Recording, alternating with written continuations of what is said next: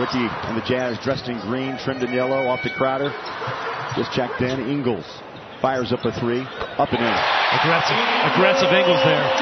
Clippers are coming back down to earth here. They were shooting 65% earlier, now down to 50. Jazz climbing up to about 29 as Favors with a wide open lane.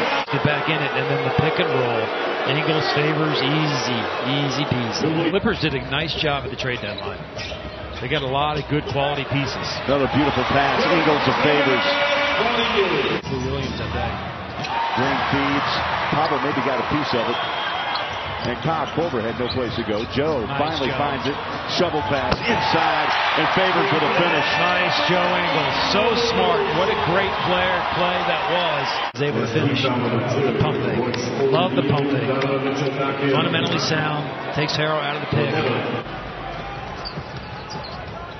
Jiggling Joe back on the floor. He'll go inside. Nice. Oh, yes, sir. Top goes Rudy. Great ball handling by Joe Ingles on that pick and roll, too. Here's Joe. Playing with three fouls. Step back three. It's up. Got it! Nice shot. What a Got it! shot. Ingles gave up the three, gets it back.